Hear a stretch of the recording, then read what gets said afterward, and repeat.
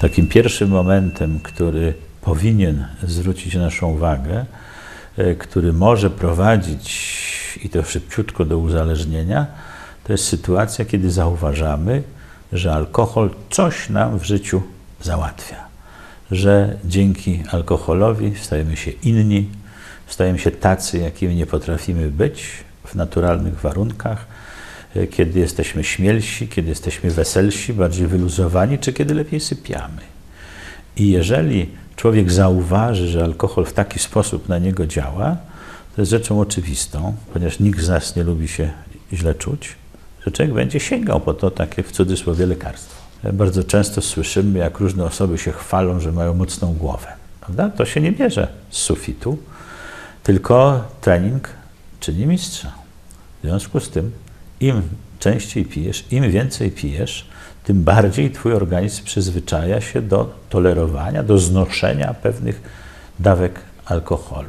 I kolejna taka trzecia rzecz, na którą się też nie zwraca uwagi, to są te popularne przerwy w życiorysie czy urwane filmy. Bardzo często słyszymy, a tak, coś tam było, ale to, to dobrze nie pamiętam. No dobrze, ale to nie jest normalna sytuacja. Coś spowodowało, że pewne wydarzenia nie zapisały ci się w pamięci. I to może być właśnie wina, e, czy to jest w ogóle yy, wina alkoholu. Spotykamy też ludzi, którzy, z którymi siedzimy razem przy stole i są tacy, co nakręcają tempo. O tak, a to wypić, to tu, to oni wyprzedzają kolejki, namawiają, to już, to już. To też o czymś świadczy.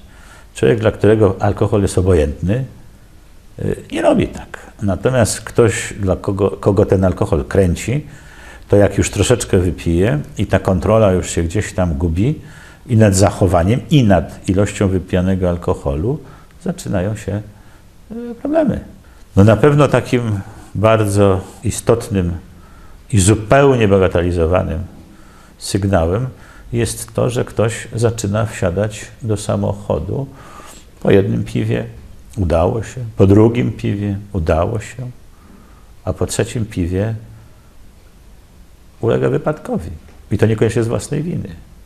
I jeżeli człowiek przestaje kontrolować sytuację, w jakich się pije czy nie pije, to też świadczy o tym, że ten alkoholik już albo już się zaczął alkoholizm, albo jest już coraz bliżej.